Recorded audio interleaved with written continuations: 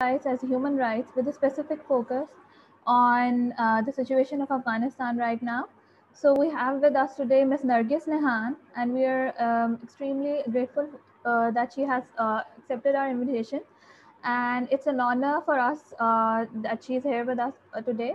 So uh, first, I would like to start with um, the introduction of Ms. Nargis Nehan. She uh, she was born in Afghanistan, and in 1980s she had to leave Afghanistan uh, during the war, and she came, uh, her family left Kabul and she came to Pakistan. During her time in, at Pakistan, she worked with different non-governmental organizations, and she completed a um, master's in finance. She, uh, uh, in 2001, when um, United States invaded Afghanistan, she went back to Afghanistan and started working with Norwegian Refugee Council. Um, after she left working with the Norwegian Refugee Council, she took a series of positions with Afghan interim administra administration. Her government positions have included Director General of the Treasury Department at the Ministry of Finance, Vice Chancellor for Administration and Finance at Kabul University, and Senior Administrative Advisory positions to the Minister of Education and Higher Education, and uh, she she uh, she was in 2017 she was the acting minister for mines petroleum and industries in afghanistan she is also a women's rights activist and she has a uh, found she's founder of, of organization known as equality for peace and democracy an organization whose mission is to empower women and youth to become active decision makers by electing their leaders and representatives through voting monitoring state institutions performance and holding them accountable for public policies and resources and also becoming agents of change in their community and daily life she is also a member of the Civil Society's Joint Working Group, the Afghan Coalition for Transparency and Accountability. In 2021, she had to leave Afghanistan after the fall of the government of President Ashraf Ghani, and she is currently in Norway. Uh, welcome to the uh, Global Institute of Law, Ms. Nehan. And I would like to um, ask you to explain a bit about the current situation in Afghanistan, what is happening right now, and uh, how do you want to explain? Uh, well, thank you very much, Noor. Uh, first of all, I have to uh, uh express my gratitude to the, the, Global Institute of Law for arranging today's session, uh, the platform that I can communicate about uh, the situation in my country, the situation of women and minorities, and how what is happening in Afghanistan today, how is it linked in the bigger context with the rest of the world, and how uh, that is going to have its own impact on, on rest of the world. Uh, so as I'm sure whenever you're hearing about Afghanistan, uh, you must be hearing about uh, conflict, rampant corruption, impunity, weak governance, lack of rule of law, uh, uh, civilian casualty, military casualty, international forces casualty. So this, these are all the news, the, the very negative news that despite the, um, the progress that we have made, have been always hitting in the international media. And that's what has been the focus on news on Afghanistan in the last 20 years. While many times we try to change that and shape different and promote different and positive narrative about Afghanistan, uh, but that has been very difficult. Uh, and we believe that this negative imaging uh, news about the, uh, the uh, the, uh, about Afghanistan has created a fatigue among all countries about Afghanistan because especially the citizens of and the taxpayers of different countries uh, kept, uh, felt that if we are uh, supporting so much that country, why we don't see any changes in that country, why things are not improving in that country country that constantly we are hearing about war, conflict, and atrocities. Um, Today, I want to share with you some of the progress that we have made in the last 20 years, especially with regard to women's access, women's right, and women's mobility, and women's agency that uh, we didn't have it before.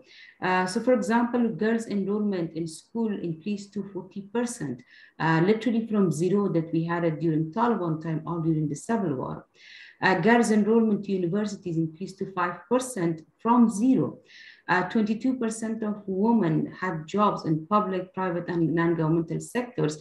and um, a woman formed 30%, 30, more than 30% of civil servants. More than 50% of our teachers were female, and 27% of our parliamentarians were women. More than 3,500 women owned small to medium scale businesses, where besides running the businesses themselves, they also created employment for many other women and men. And women served as ministers, ambassadors, advisors, deputy ministers in different positions in the public sector. They also led many civil society organizations in the non-governmental sectors, and they were also running many uh, media outlets uh, in Afghanistan. And all laws and legislations that Afghanistan was drafting in the last 20 years the law, they treated women, men and women as equal citizens, and they didn't impose any restriction or any discriminatory policy against the woman. And millions of people became aware about women's rights, minorities' rights, equal rights, the importance of freedom of speech and democracy through different programs that uh, civil society organizations were conducting and as well as media. And uh, Afghanistan had uh, one of the most independent and vibrant uh, media uh, in the South Asia, according to many reports that we had.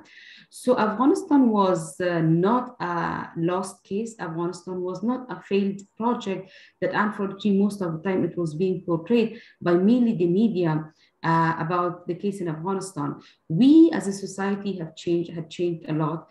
Uh, and uh, as a society, we have transformed a lot. Uh, the country, for the first time, had begun to bring uh, itself together. We had public institutions providing services to the people.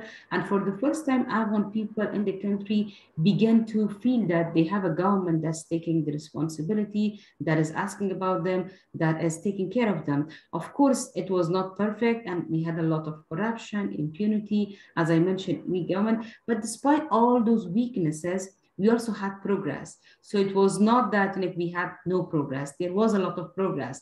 So I keep on telling everybody that if you're looking at Afghanistan case from our politicians' perspective, from the leaders' perspective, um, then of course Afghanistan looks uh, uh, not only a failed uh, state to you, but it also looks a failed cause to us as well the Afghans. But if you're looking at Afghanistan from the women's movement perspective, from the civil society's uh, development perspective, from the media perspective, from the young generation's engagement and awareness perspective, then definitely Afghanistan was not a lost case. And the return that we have got from the all the investment that we made in Afghanistan, especially on the civilian activities, the return is much more higher than all of us expected.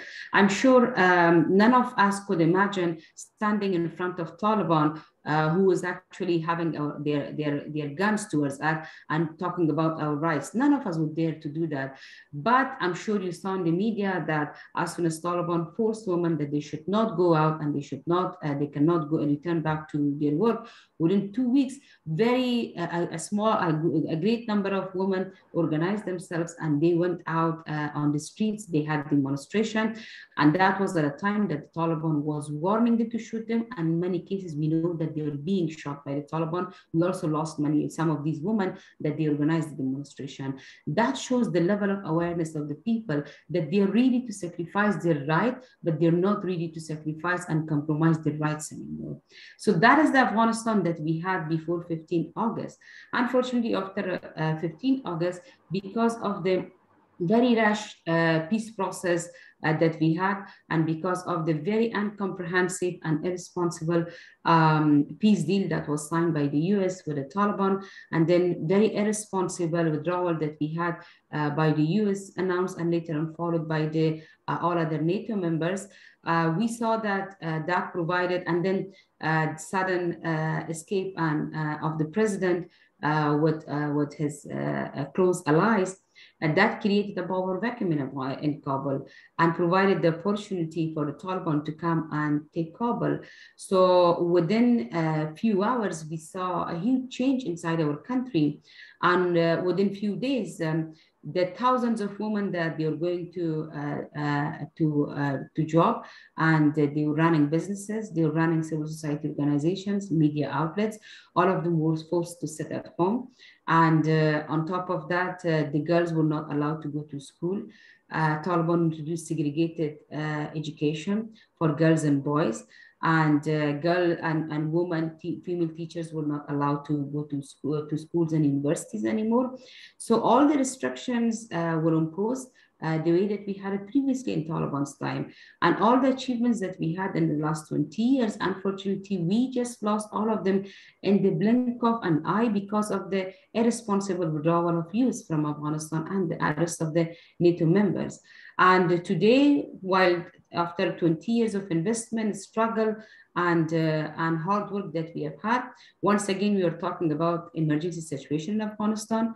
We are talking about women being forced to sit in their houses in Afghanistan. We are talking about high poverty in Afghanistan. And we are talking about women's rights and human rights and minorities and all the atrocities that I'm sure you're hearing through media about Afghanistan. So um, you're saying that the last two decades were a progressive period in terms of women's rights in Afghanistan, right? Yes. This is what I wanted to ask you as well. So you answered my question already. So, um, so what what is your opinion? There there are a lot of women's rights act activists from Afghanistan who have told me that women, uh, that Afghan civilians, especially women, were kept out of the peace process. So, do you think? What's your opinion on that? Uh, absolutely. Women were kept out of the peace process. Women were kept out of the main discussions and decisions which were made about Afghanistan. And it was not only women, but also men, progressive uh, men that they were working in the civil society, in the media, any men and women that they cared about, about Afghanistan, and they were demanding responsible withdrawal. They were demanding um, a comprehensive and durable peace deal. They were kept out of the peace deal. So unfortunately, the Americans were mainly looking for uh, the people that would just say yes and would support uh, the, the strategy that they had, uh, in mind for the peace deal in Afghanistan. They were not looking for a proper peace process, but they were just looking for production of a peace deal.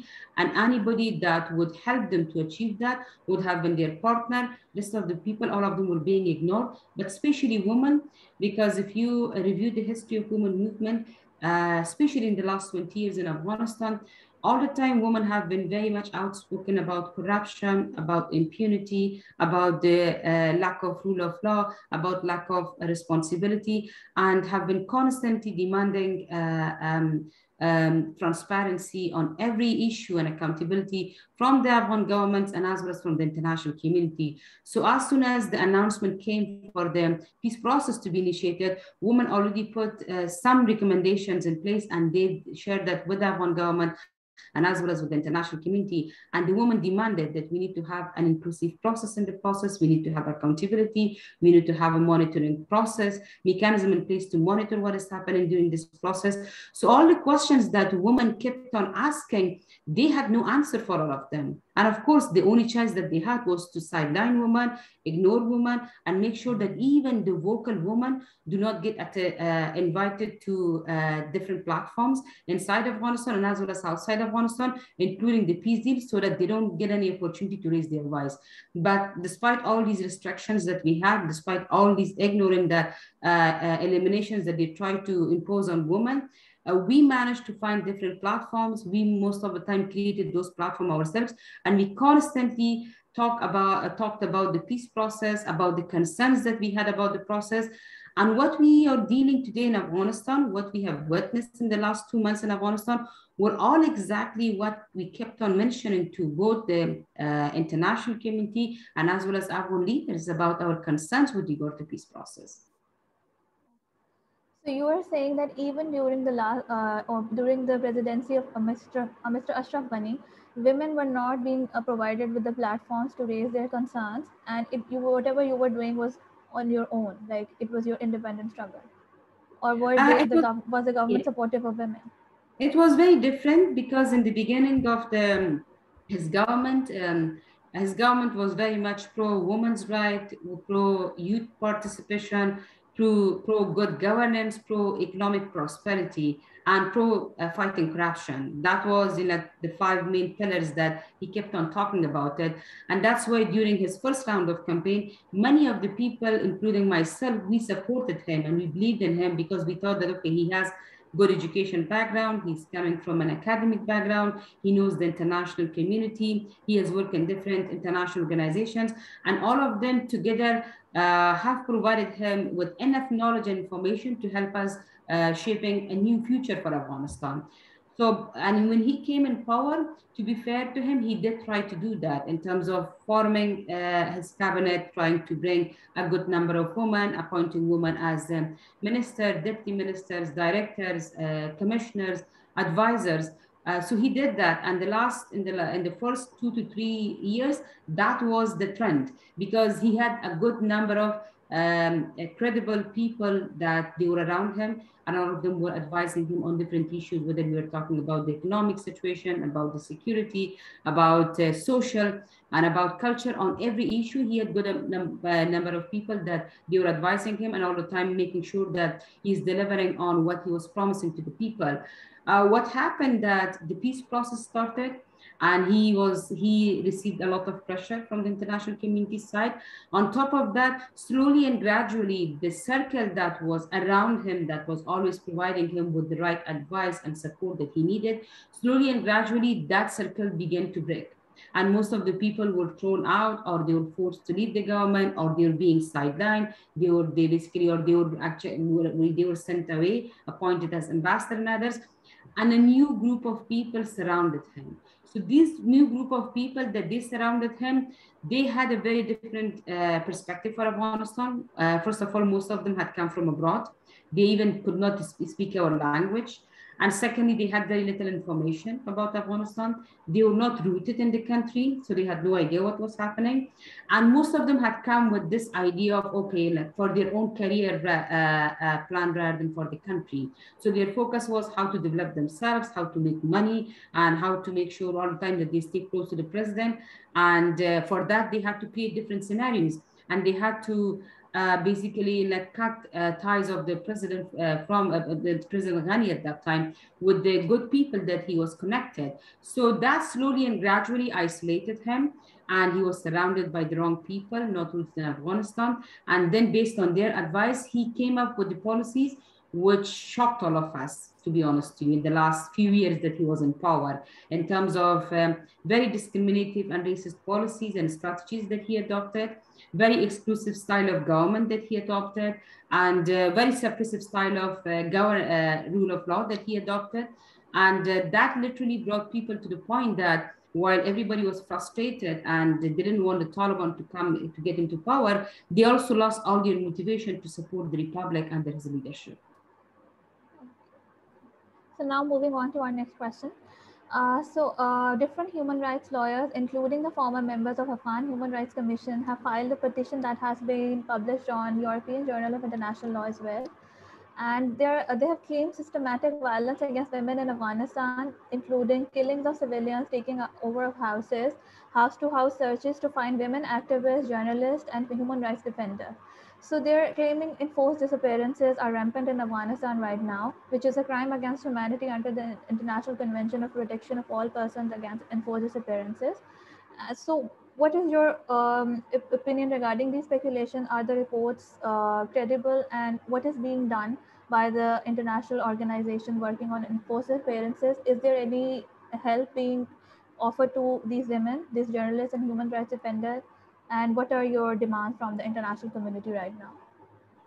Uh, first of all, the, um, we, uh, the international community had to prepare for uh, evacuation of the, the, people at risk months before, which they didn't do it. Uh, so suddenly, when the Taliban captured Kabul, then they rushed into evacuation, and we saw the situation in Kabul airport where even in Kabul airport, we had a number of incidents, uh, uh, quite tragic, because of the rush that we had in Kabul airport. Uh, on top of that, um, uh, I found it honestly pretty sur uh, uh, surprising and, and also disappointing with the policies that they had adopted in terms of evacuation of um, their, their, their, their local or national counterparts. So, for example, the the requirement was saying that you have to have some sort of engagement with the uh, one of the embassies if you are expecting that country's uh, country to evacuate you. Either you have to implement, you had implemented a project with them, or you had designed a project with them, you must have had some sort of relation and allies with them so that based on that, you could say that, okay, my life is in danger and I need you to support me. So there was a small number of women inside Kabul that they were very well connected with almost all these embassies, including myself, where we received uh, calls from different embassies that uh, they were willing to help us with the evacuation. But then there was a huge number of uh, uh, activists and journalists and entrepreneurs that um, they were living in the provinces and they did not have that kind of connection with them with the uh, with these embassies. For example, our office uh, we created women provincial women networks in 20 provinces of Afghanistan. So these networks have been uh, vocally working about women's rights, about women peace and security, about conflict resolution in the last eight to uh, nine years and they have been very active. And uh, to be honest, too, their life are more in danger than rest of us because they have gone out of their way in terms of trying to identify conflicts and try to resolve them. But they do not have any kind of direct link with any of the embassies or international organizations because first they don't speak English. Secondly, they're located in the provinces. Third, it was our organization providing them with the fundraising and with project management, with all those support that they require to do their job at the community level. So when I uh, when this whole situation happened, I prepared their list and I requested several embassies and I said, we need your support for evacuation of these women. And I was receiving these questions from them that, okay, like, uh, with, uh, in which project of your organization they were involved? Have we funded that project? Can you send us this evidence? Can you send us that evidence? So basically, they would evacuate a cook that was uh, that had a contract with an embassy they would evacuate a security guard that had contract a cleaner that had a contract but they would not evacuate a very vocal activist if he or she did not have any kind of direct link with their uh, with the embassy so as a result what happened that despite we uh, hear about thousands of people being evacuated in Afghanistan. We are also hearing about the hundreds of activists, journalists, and uh, judges that they're still inside the country. And it's just because of that lack of direct link that they have with these embassies.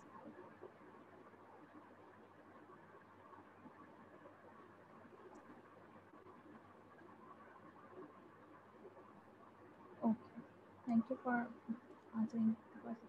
So uh, you are saying that people who were working independently as activists are at a greater danger because there was nobody to support them as embassies were only taking out people who were associated with them yeah absolutely in any manner yes okay.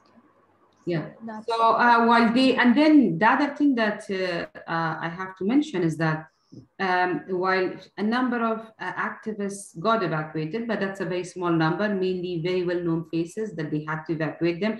And somehow many of them wanted to evacuate them to say, okay, like I evacuated this person, I like uh, but then all of us, when we got evacuated from Afghanistan, uh, as soon as we got into these countries, we were put into in the list of uh, refugees that uh, we received as refugees. We were placed in camps as in refugees. Still, we are placed in different camps in different countries as refugees. While this is the prime time, prime time that we should be supported to raise our voice to talk about what is going on in the country. So while you have Afghan women sitting in refugee camps and waiting for their papers to be processed, waiting for their destiny to see in which very isolated uh, state of different countries they will be located. You see many international activists that they uh, come and they're talking about Afghan women's right because you have a limited number of women that they have the enabling environment and the support they require that they raise their voice, they write about the situation, they talk about the situation. I found it very disappointing because literally no women's rights activists receive any kind of support from the host countries and they're just treated as another refugee that they have to go to camp. They have to be located in one of the very isolated states and they have to find their way out of that process themselves. I mean, if it was a normal situation, that we, these, some of the activists with their own choice would have decided to leave Afghanistan. Uh, they would have come to these countries, then fine, like you treat them as a refugee that will seek asylum, and she has to, he, she or he has to find uh, uh, his, his or her way in the country. But you know very, we, everybody knows very well that none of us were, was willing to leave our country. The situation forced us to leave in Afghanistan. We received support, a small number of us received support to get evacuated from Afghanistan. But as soon as we landed outside Afghanistan, we literally received no support being an activist to be able to continue our work. So I'm going to ask you, now I'm going to ask you about the anticipated future of Afghan women under the Taliban rule. So what are your expectations uh, and are you hopeful that situation might change for better? And what are your demands from the government and also from the international communities? How can they step in and help you out? Uh, Taliban had an opportunity that uh, to basically uh, turn the situation and prove uh, every one of us wrong and saying that no, we have really changed, and this is how you know this this is what you see in action. So while despite all these disappointments that we had, there was an opportunity for ending the four decades of war that we had in Afghanistan, the four decades of conflict that we had in Afghanistan, and forming an inclusive government and ensuring people that, okay, whoever has left Afghanistan, they have left, rest of you can continue their, your life and let's get together and build uh, Afghanistan. And Afghanistan is not an occupied country anymore, something that Taliban have been fighting and have been claiming for their fight uh, in the last 20 years. So they had that opportunity, and it was very little for them to do to achieve that. All we, everybody was expecting to do was that first they form an inclusive government. An inclusive government does not mean that like, they bring representative of their like-minded people from different ethnicities and say that, okay, this is an inclusive government. But even if they have done that, it would have been more acceptable with the international community because international community was very uh, tired and exhausted with uh, uh, war in Afghanistan. And they were looking for some sort of arrangement that would just, they could have just showed to their media and to their own citizens saying, oh, like things are fine in Afghanistan. They can move on uh, independently on their own. So they could have formed like some sort of inclusive government by bringing representative of different ethnicities. Even if they had problem with the previous leaders of these ethnicities, they could have brought the way that uh, Dr. Ghani tried to do it. He brought young generations from uh, young and independent and more technical, mostly technocrat and technical people from other ethnicities and he said that, okay, it's an inclusive, but I'm not going to bring those, um, my oppositions from these ethnicities. So the, at least he could have tried that, where he could have brought few techni uh, technocrats from Tajiks, from Hazaras, from from um, uh, from from Uzbeks, and they could have said that okay, it is an inclusive government. Look, we have representatives from all these ethnicities, and then on top of that, they should have brought few women. Fine, if they had problem with women of like activists like myself. Um, they could have brought more like traditional women that they are in Afghanistan, they're educated, they have lived here, and they said, okay, like these are the women that you're going to work with. I don't think any of them, any country, any international uh, member of international community would have rejected their government, would have said that, oh, we don't recognize you. And the other thing is that they should have been careful because they, they want to deal with the international community. They should be respectful to the international com, uh, community's norms that is actually bringing all of us together and is binding us. So forming a, a cabinet where majority of the members of that are uh, in the in the in the blacklist of the uh, and the sanction list itself shows that they have no respect for that. So unfortunately, by taking all these steps, uh, they literally prove that they haven't changed. And uh, they literally, I believe that they somehow themselves left no room for the international community to recognize them. And then on top of that, uh, uh, besides not recognition, um, in terms of segregating girls and boys education, not allowing girls to go to school, not allowing women to go to their uh, uh offices anymore, by uh, suppressing those women that they organize demonstrations, by uh, committing atrocities in Panjshir and other provinces, by depopulation that they, that they have done so far in Panjshir and Daikundi, and they're planning to do, they might be doing it in some other provinces especially north of Afghanistan as well. Uh, so by doing all these things and and and they literally showed that like their policy about women has not changed their perspective about minorities has not changed and their policies about you know, like sharia law has not changed they want to uh, implement the most regressive uh, um, uh, uh, form of the law in Afghanistan. And the best example was uh, uh, abolishing um, of the uh, Ministry of Women's Affairs and uh, restoration of the Ministry the, of the Office of Ministry of um, Virtue. Um, instead of that, so that was a very symbolic move to show that like what they believe in. Instead of like abolishing an institution that was supporting women and restoring an institution that's going to suppress women. So that itself speaks volumes about like their ideology uh, about them. So that is the situation. Afghanistan, unfortunately, right now is an isolated country once again. Uh, Afghanistan is very much prone and is very high risk of um, civil war, proxy war, or any other form of war that you talk about it, because um, uh, Taliban are having fraction amongst themselves within the leadership. There are two branches that they don't get along. That's why it took them weeks to be able to form the government. Uh, there is no uh, cohesion between the leadership of the Taliban and their foot soldiers anymore. So I'm sure you must have heard that while the, uh, several times the leadership uh, announced general amnesty, uh, for everyone, then their own foot soldiers and their local commanders are going after the former national security forces and they kill them and they in front of uh, cameras they say that we don't accept that amnesty. So basically they don't respect what is decided and what's announced by the by leadership in kabul.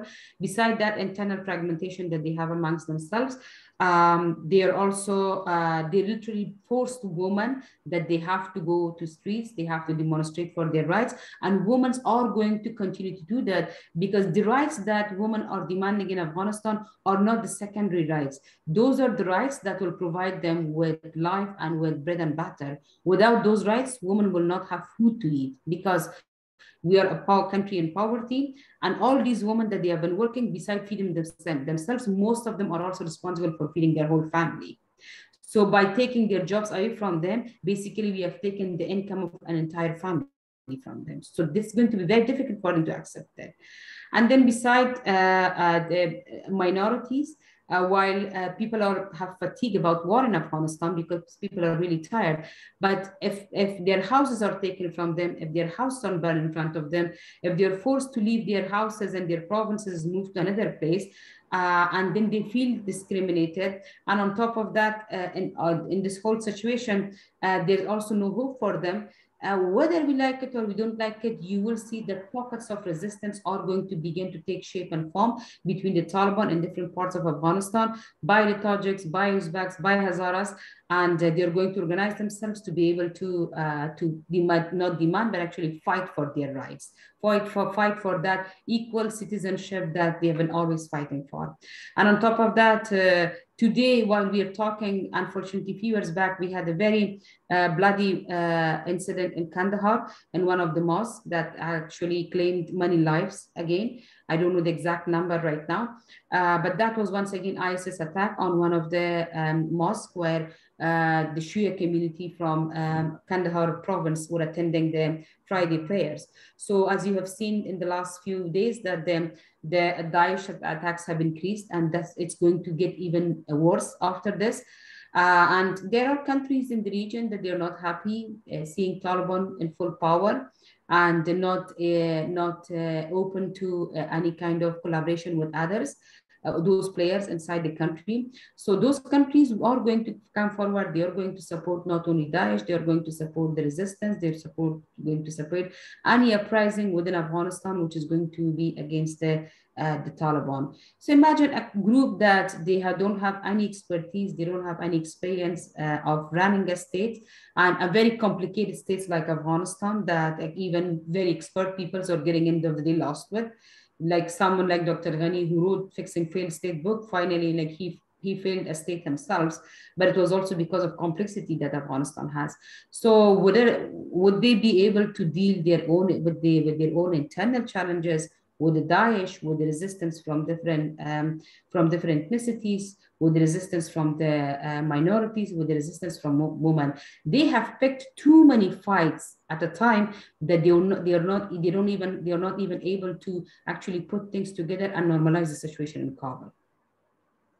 So unfortunately, earlier not drawing a very positive picture for the future for us. Yeah. So in an earlier interview, as uh, you stated that you wanted, you were ready to go back and work in Afghanistan under the current government uh, if certain conditions were met. So now that you you're uh, the way you are saying that different groups are fighting amongst each other. So you were saying, uh, so you believe that Afghanistan is going to back to the time when there was civil war uh, going on between different group, groups inside the country. So do you think is there is still possibility of people who have left uh, who are of coming back? Do you still have any hope, or you think you're entering a very dark phase? Afghanistan. I mean, the, I remember that interview that I gave, but at that time, Taliban had not even announced their cabinet. They had not come up with any kind of public policies about how they would treat women and how they would treat minorities. They had not committed uh, atrocities that they later, later committed in Panjshir and, and, and Daikundi against the uh, minorities.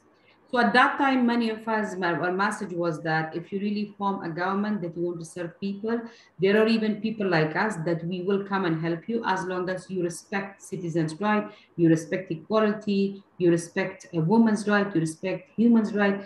Uh, so we will come and you'll forget what happened, uh, uh, what you did in the in the uh, and past with the country with all of us.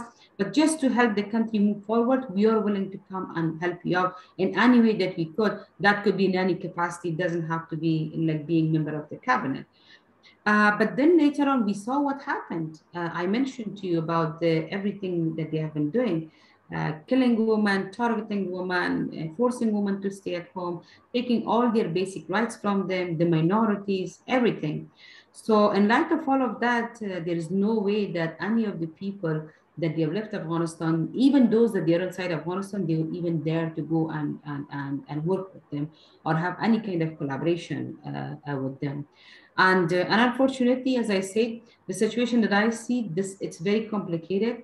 Uh, and we see that despite the, all the um, pressure that the international community is putting on the Taliban, still the Taliban are not responding uh, positively to that.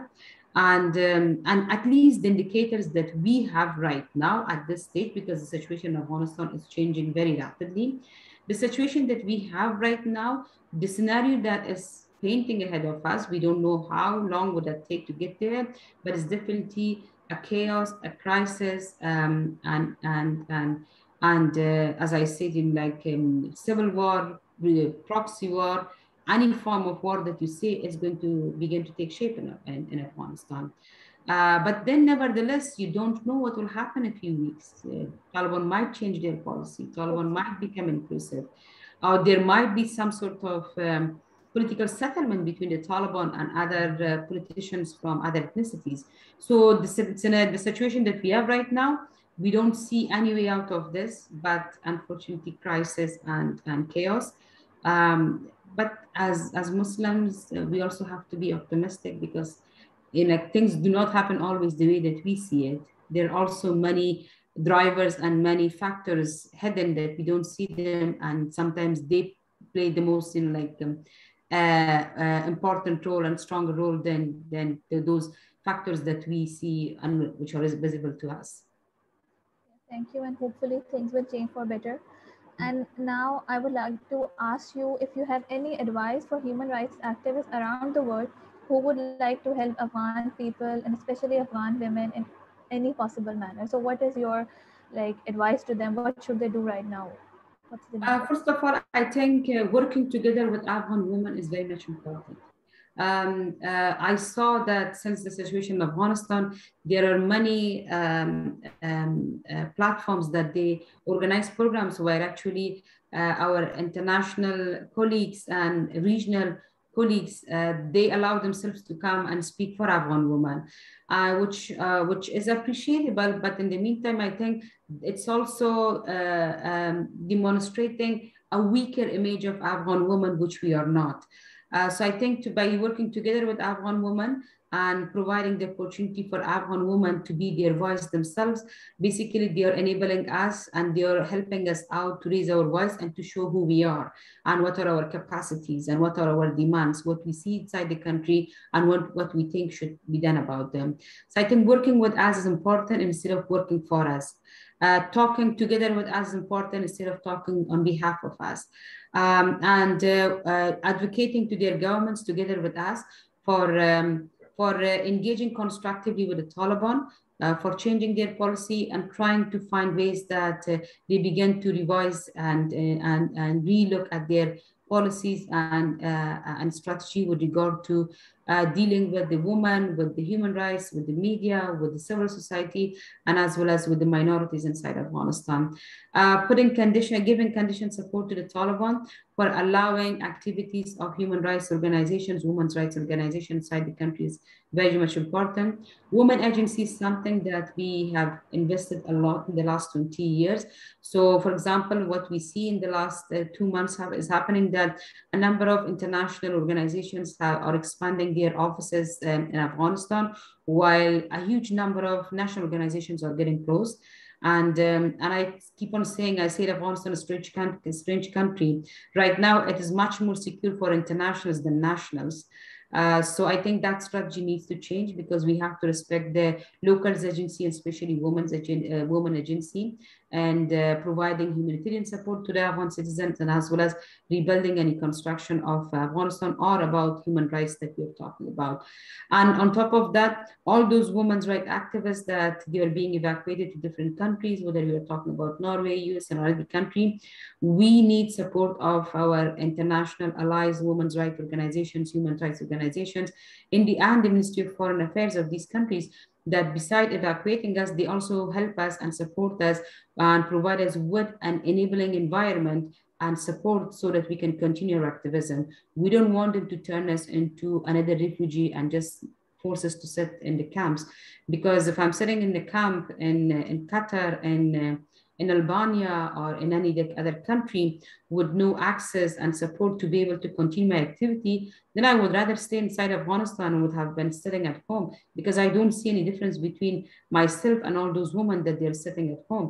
Uh, the only difference is that I'm provided with physical uh, uh, security by being evacuated from Afghanistan, and they don't have that support. Other than that, there is no difference between them. They are as de- we are as deactivated as they are deactivated. So, um, do you have anything to uh, say to the regional powers in terms of refugee intake?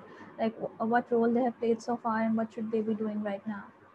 During uh, sorry, I, can you repeat your question? I didn't get it. So, so your demands from the regional powers regarding the refugee crisis in Afghanistan yes. right now? So. Yeah, first of all, what happened in Afghanistan was totally preventable if the regional countries would have cooperated, if they would have left their differences and their own politics aside and they would have focused on Afghanistan, not only for sake of Afghanistan, but for sake of themselves and their own countries. They didn't do that. They continued to bring all their differences inside Afghanistan and fight it there. And now that the country is in crisis, all of them are shutting their doors and they're saying, oh, we are not receiving refugee. If you really didn't want to receive refugee, then you shouldn't have brought Afghanistan to the situation that it is today. Uh, so, uh, I mean, if you're expecting Western countries that they support and they receive refugees from uh, Afghanistan, then how come Islamic and regional countries are not doing that? Um, we they need to step in and they need to provide that support. And and it's not that they're providing that support free of charge. Unlike western countries we have the experience. I have been uh, a refugee myself to pakistan and i have seen that as soon as we got there it was no penny came to us from the government of pakistan or from government of iran or india or, uh, or turkey and others it was all the, the Western countries that through UNHCR, WFP, and different international organizations, they provided us with the food, with the shelter, with, with everything, with school, with clinic, everything. So they're just providing us a piece of land to be there. Other than that, we know very well that all other support that, that refugees require are coming from international organizations with no penny from these countries. So they are doing very less and, and, and only uh, lending a piece of their land, which in return they get a lot of money. Uh, uh I think is nothing in this situation that they are doing to the Afghan people, and as well as uh, playing their own part and of responsibility uh, globally with uh, while everyone is trying to help Afghanistan. Especially that what the situation that we have, the Taliban, if we have them in power, we know very well that it's all because of the regional countries, uh, mainly that they supported them. So thank you so much for joining us today. Is there anything else you would like to talk about uh, before we end the session? Uh, you can just discuss it with us. Well, I have to first of all thank uh, the Global Institute of Law uh, for arranging this uh, uh, uh program. And I also have to thank you for uh, this program and staying in contact, communicating with me. it's an honor for us. and the pleasure in the last few days before this program. And my message to the rest of the, to whoever is uh, watching this program is that whatever is happening in Afghanistan today is not a battle between Afghan women and the Taliban or a, a moderate group of uh, uh, citizens uh, against the Taliban. It's basically a battle of two ideologies. One is the ideology where which is which believes in humans' right, in women's right, in equality, in justice, in freedom of speech, and freedom of humanity. On the other hand, the, the other ideology is about suppression, about uh, crime, about killing, and, uh, and, and, and about extremism. So we are we are these fight the fight that's happening in Afghanistan today these fights are also happening in some other countries as well.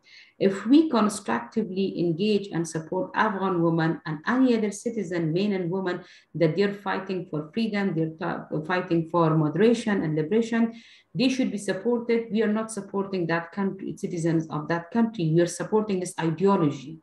So by supporting Afghan women, by supporting the resistance in Afghanistan, they're supporting the value that all of us have been working for it and have been struggling for it for many, many decades and actually centuries. So if that is this ideology managed to prevail and achieve in Afghanistan, this is going to set a precedent and a model for all other countries that this is going to be the ideology that we all have to fight for and this has to prevail. But if this ideology is not going to have victory and extremism will have a victory, then we should be ready for the ideology of extremism, suppression that is going to soon expand to other countries such as Pakistan, India, Bangladesh, and other countries. And slowly and gradually, they will also find their ways to Western countries. So what is happening in the context of Afghanistan will not remain in Afghanistan. It's the beginning of that is going to be in Afghanistan. Soon that's going to expand it to other countries and as well as the whole world. So that's why the this is a war that all of us together should fight it. And it's not only our war, it is on our side, but it's a, a war between the two ideologies that is happening around the world. So with this, we would like to end the discussion. Thank you so much for joining us and thank you so much for whatever you're doing for women in Afghanistan. Thank you for your activism. And it was an honor having you here with us and we will stay in touch with you in future as well. And we know that you have a busy schedule. So thank you so much for taking our time with us. Noor, thank you very much for all uh, very good questions that you've posed and for this event that you've put together from Abasi for providing us all the technical support. And, um, and let's continue our struggle as, as partners and collaborators and allies uh, for what we believe in. And, and we are, the number is quite huge. And I'm sure that together uh, we can move mountains and it's going to be nothing for us. Thank you. Thank you. Have a good day.